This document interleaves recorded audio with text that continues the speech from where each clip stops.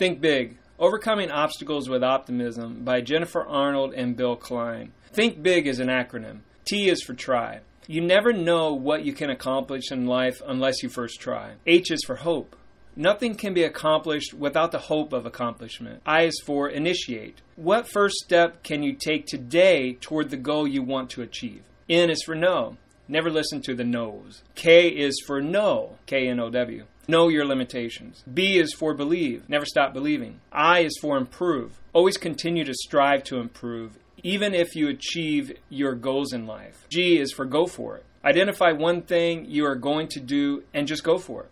I'm going to briefly summarize a few points in each chapter. Chapter 1 Try. Pull yourself up. Give anything a shot. Get back up after you fall down. The worst thing is not even trying at all. Be open to new ideas. Sometimes you have to say no a few times before you know it's the right time to say yes. Chapter 2 Hope. Celebrate those who bring hope. Find hope in anything. You need hope in your life, especially when things get tough. There will be moments when the worst can happen and will happen. You can't spend your life worrying and waiting for them. Chapter 3 Initiate. Look beneath the surface. There's more to anything in life than what you see. Don't let the surface define you. Go above and beyond. Taking the initiative means working on something right away. Show up and knock. Take the first step and then take the second and so forth. Chapter 4 No. Dreams don't die, they change. Letting go of one dream can open the door to what you are actually meant to do. Don't let them define you. Don't let them discourage you. How to shake off the no's of life? Well, whenever someone says you can't do something, write their statement on a note card and keep it in your desk. Pull it out when you've shown that you can do it. Chapter 5 Know. K N O W.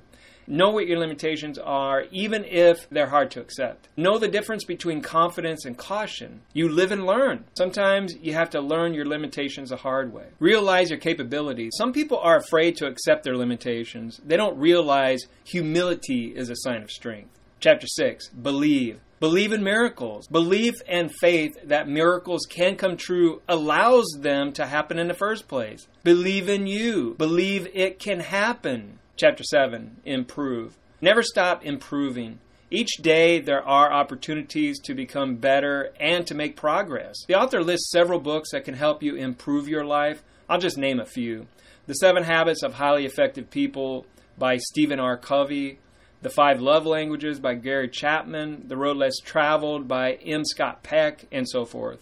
Chapter 8 Go for it. Go out and act on your dreams and encourage others to do the same. Now, think of one way you can accomplish each goal. What are you going to try today? What sort of hope will you embrace? What are you going to initiate? What is the biggest no in your life? What is the number one thing you know about yourself? What do you believe can truly happen? How can you improve something in your life? And now, when are you going to go for it?